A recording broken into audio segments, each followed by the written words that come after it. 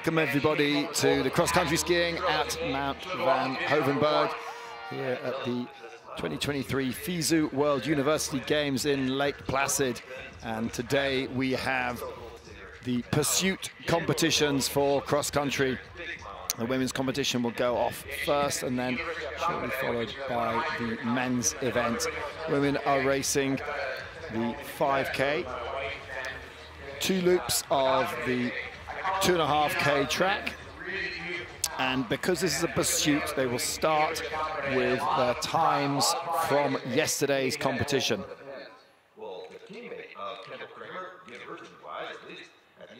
Have a look out onto the track, the weather conditions have taken a slight turn for the worse.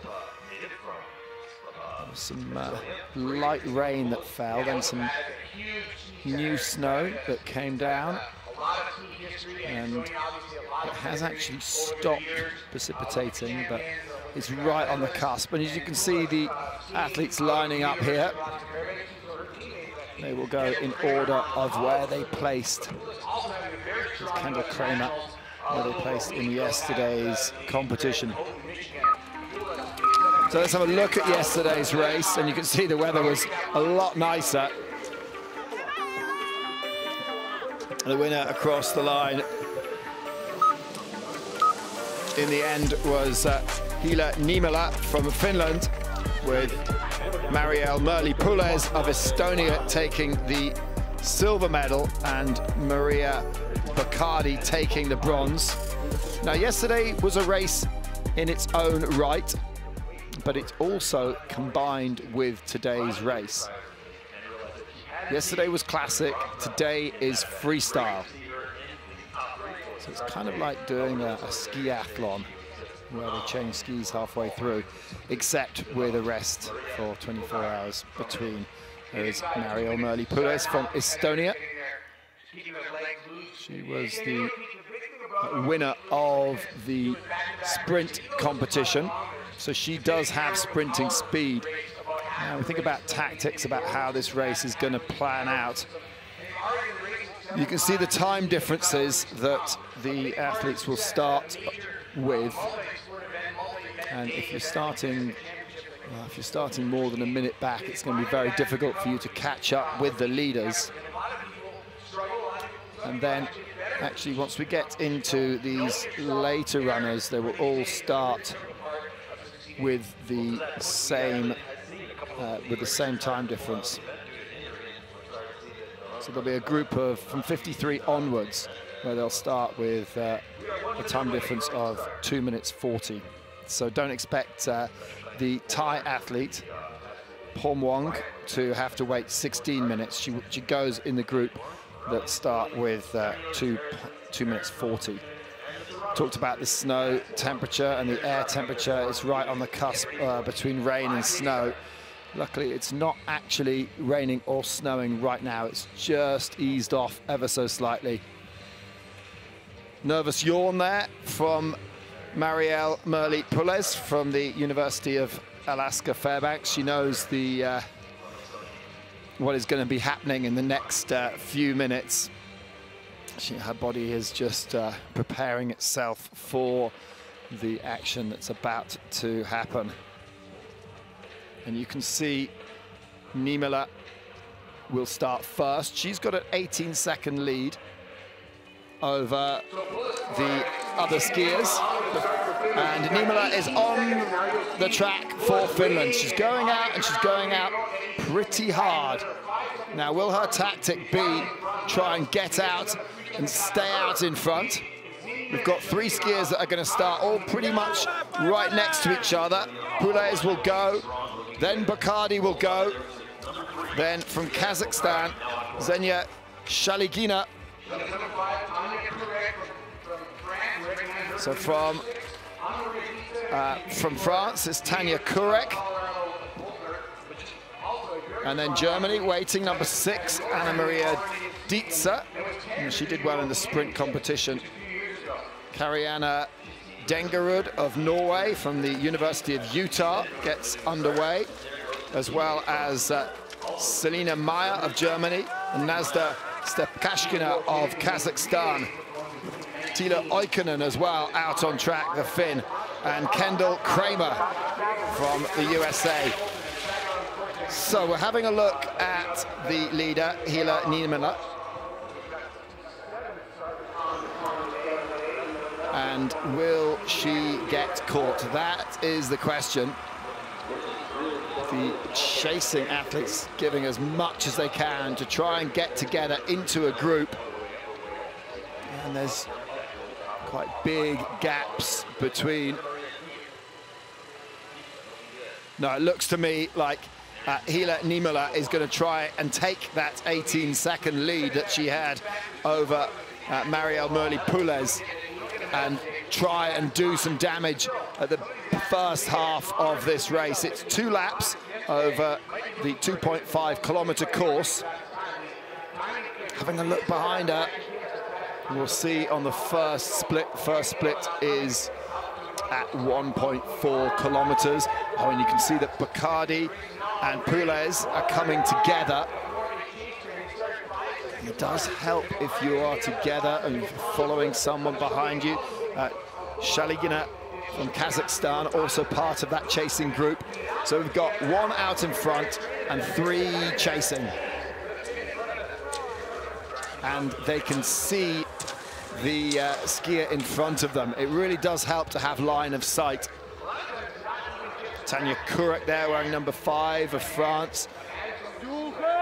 She's got a chance of getting back together with this group, but needs to go hard early in the race.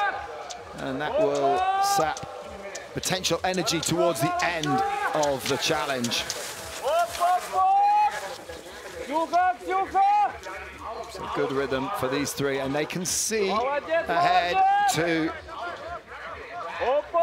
the skier in front, Hila Niemela.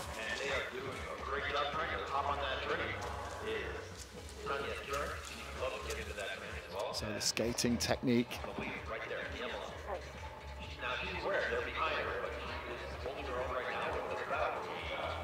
Nice and relaxed. Looked very good in Classic yesterday, Niemela. And now what's the time difference? This is what we've got to look at. Well, she had 18 seconds over Pules at the start. Has that grown? I think it probably has. But how much energy has she expended? So it's 21 seconds now, and it's Shaligina that is the one that is in the lead from that little pack. So we have a chase pack of three, around 20 seconds back.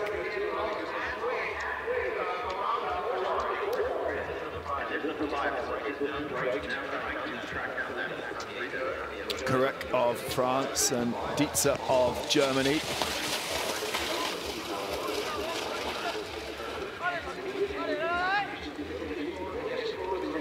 Uh, her tactic, Niemela, is to try and stay out in front. Very much going for this from the go.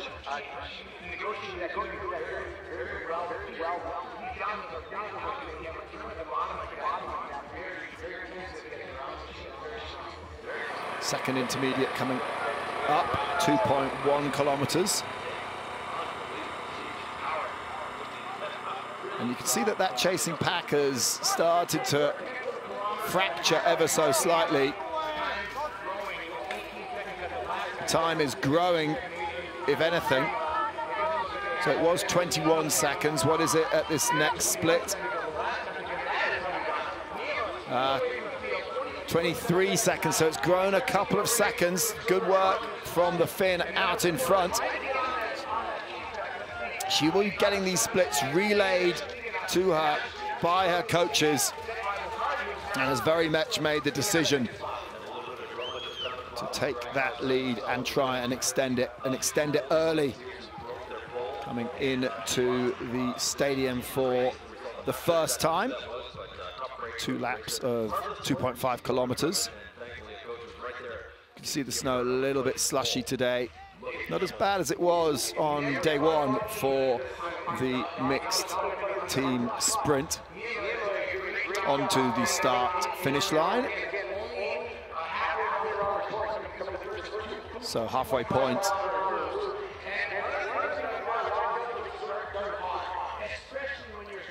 Well, Niemela went hard at the beginning. Has she gone too hard? That is the question.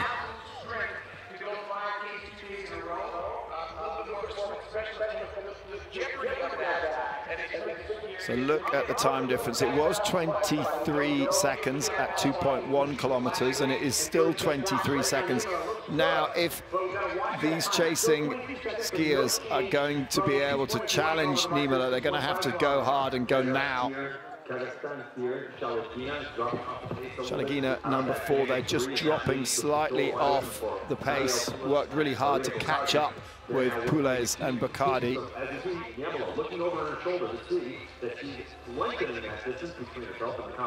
Niemela still has the power. She hasn't blown.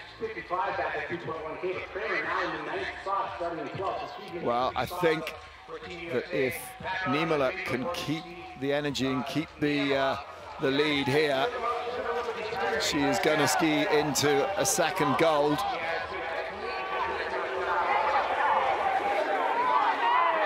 Starting to look tired now, though. Niemela starting to look a little bit labored. Hands out in front, elbows on the knees, sucking in the oxygen.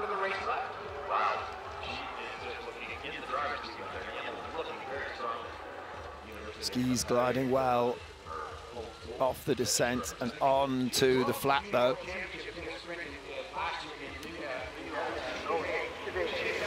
Now could this be a race for silver and bronze? I can't see them catching the Finn. The Finn is doing a great job here.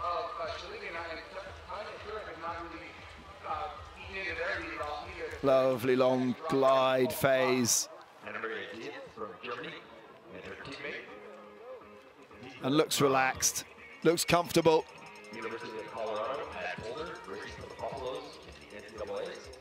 Well, Niemela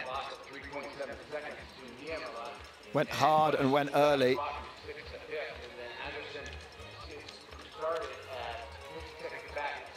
Now, the two that are chasing neither of them wants to really go for it too much because they just know that they're going to pull on and uh, help slipstream their opponent. I think that gap is pretty much the same as it was. It was around about 23 seconds when they came through the 2.5 split.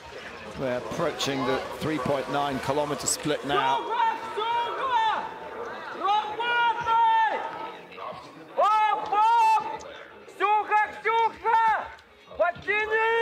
Now, looking at their sprint speed between Pules and Boccardi, they're both very quick in the uh, individual sprint competition. It was Pules that took the gold.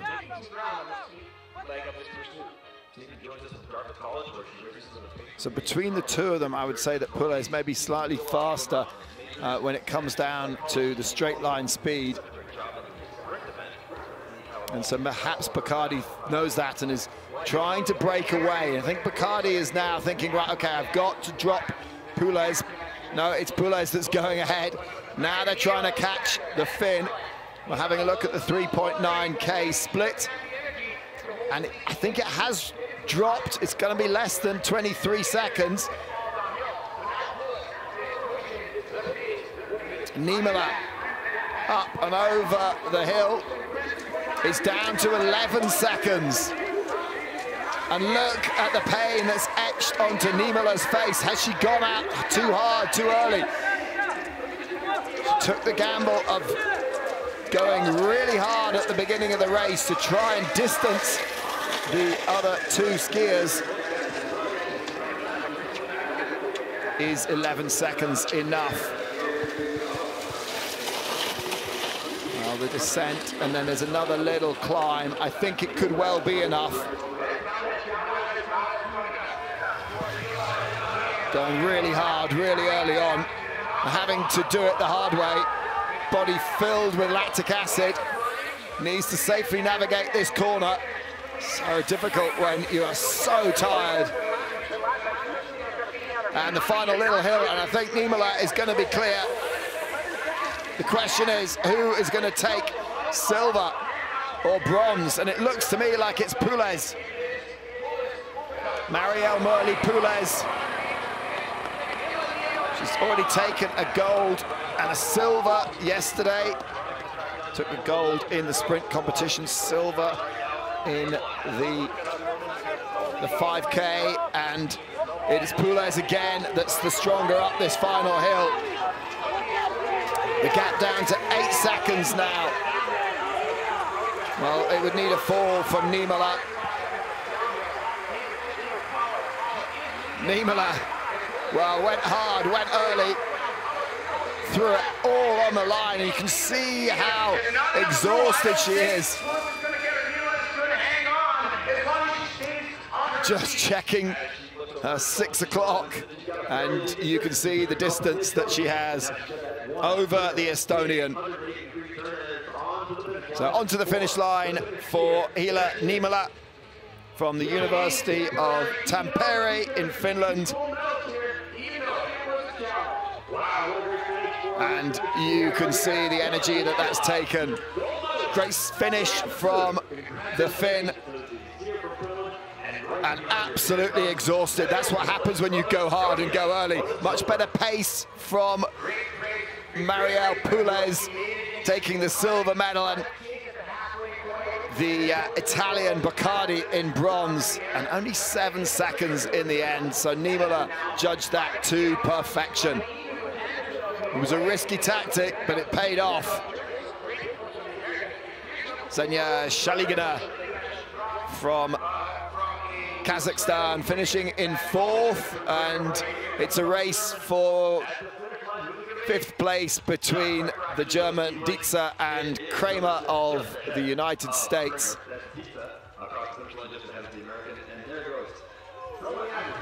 And then pretty much everyone involved in the mass start. Which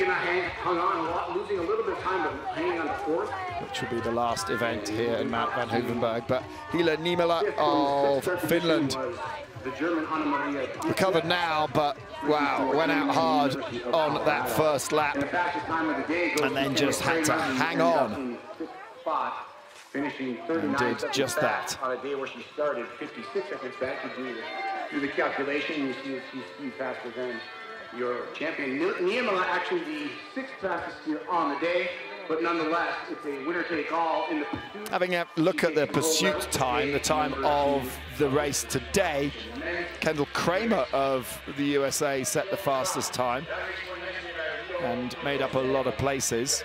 Uh, Marielle Pules, the second fastest, fastest, Boccardi the third fastest, and Niemela down in sixth place. But it was down to the fact that her tactic was to go hard and go early and try and stay out in front. And it worked.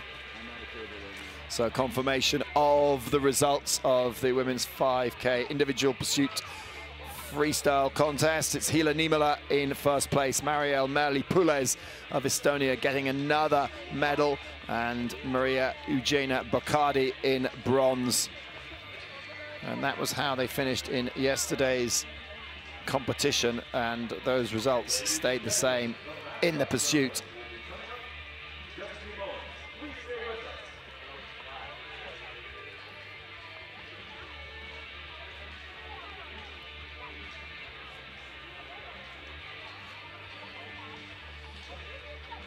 So as we go down the field, there were 67 skiers who started.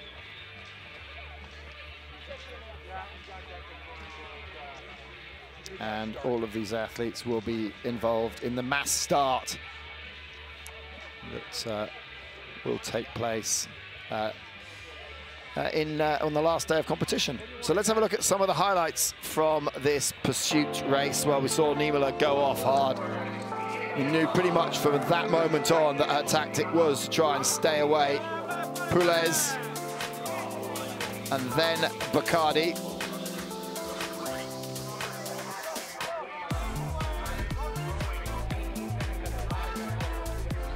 Niemela able to increase her lead.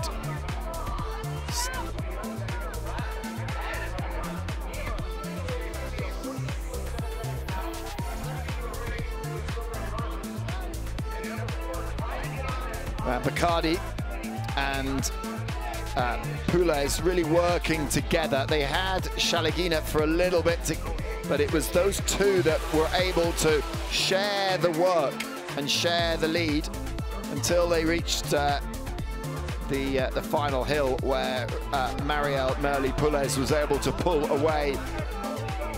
And you can see the leader there, Niemela, was really starting to tire.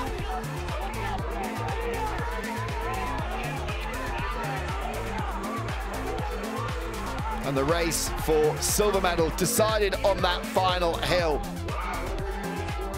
But it was a brave tactic from Hila Niemela to go hard and go fast. And it really hurt, but it paid off. Pules coming across the line in silver. And Maria Boccardi in bronze. Today's contest, no change.